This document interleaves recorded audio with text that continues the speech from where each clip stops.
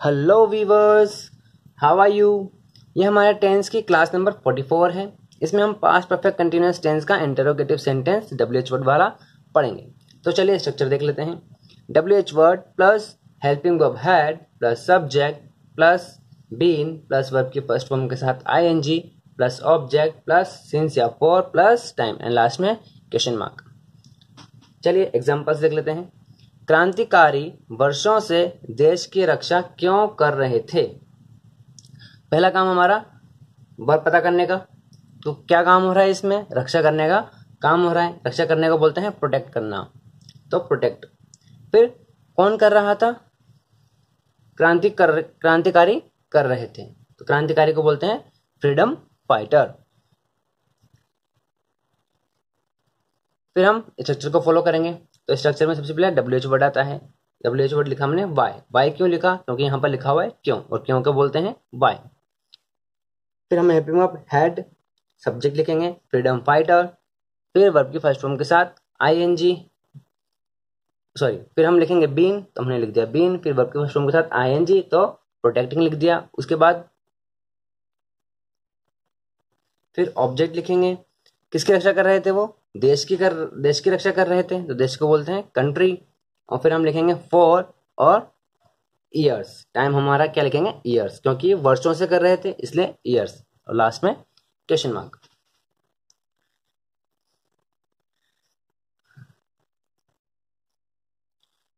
Osama bin Laden पैंतीस सालों से कहा छुप रहा था? वर्ड पता करेंगे। क्या काम हो रहा है इसमें? छुपने का काम हो रहा है। छुपने को बोलते हैं हाइड फिर सब्जेक्ट पता करते हैं, कौन छुप रहा था? ओसामा बिन लादेन छुप रहा था। तो हमारा सब्जेक्ट हो गया ओसामा बिन लादेन। चलिए, फिर स्ट्रक्चर को फॉलो करेंगे। सबसे पहले डब्ल्यू एच वर्ड लिखेंगे। डब्ल्यू एच वर्ड क्या है हमारा? बेहर। क्यों है? क्योंकि कहाँ को बोलते हैं? बेहर। फिर हेल्पिंग वर्ब हैड तो ये लिख दिया हैड फिर सब्जेक्ट तो ओसामा बिन लादेन हमारा सब्जेक्ट हो गया। उसके बाद बीन लिखते हैं तो बीन लिख दिया। उसके बाद वर्ब के फ़र्स्ट फॉर्म के साथ आईएनजी तो हाइडिंग हो गया।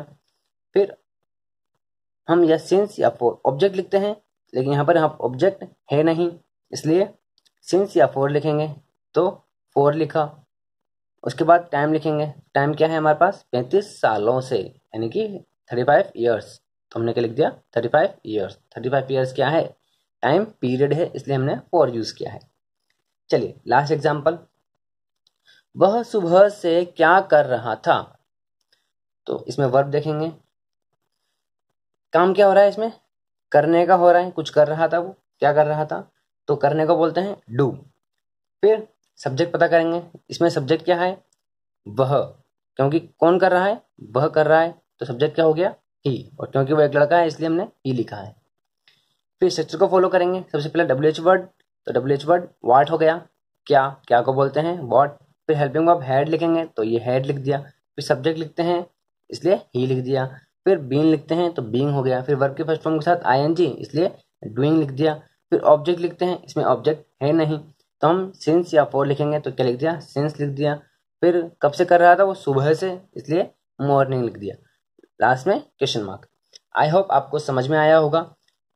अगर आपको कोई भी डाउट है तो आप कमेंट सेक्शन में कमेंट करके पूछ सकते हैं। और अगर आपको ये वीडियो अच्छी लगी है तो प्लीज़ इसे लाइक कर दें शेयर कर दें एंड सब्सक्राइब कर दें। Thank you for watching